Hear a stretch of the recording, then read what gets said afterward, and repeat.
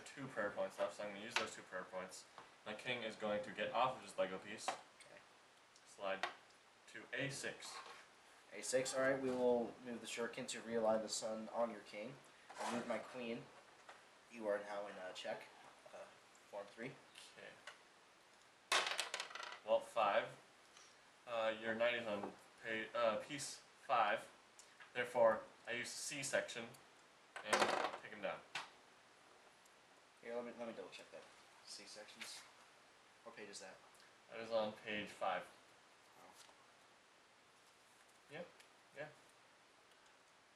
All right, all right, all right. That's okay. Okay, shuriken again. Your horse is now on fire.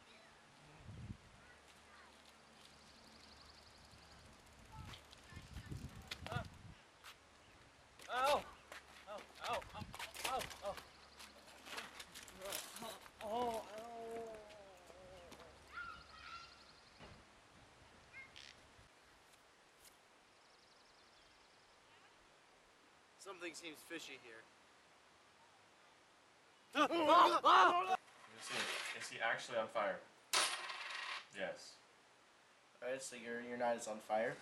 Turn the shuriken wheel again. Add two turns. Wait. It's daytime. My knight is not on fire. Oh yeah, no knights in the day. Here, remove them. Move yours. All right. Uh, you can reclaim one bishop Let's check from the the Rubik's infirmary. Let's check the Rubik's Cube. I get two bishops. Two bishops. There he is. Okay, that's perfect. All right, shuriken twist. Let me see what I roll. Oh, snake eyes. He's My- now blinded.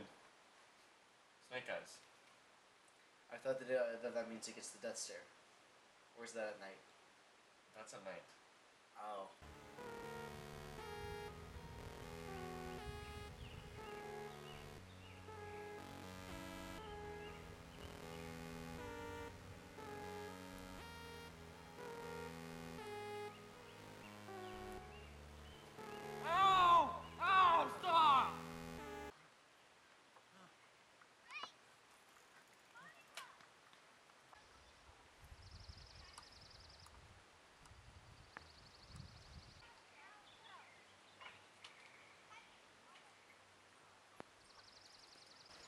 Stop clowning around.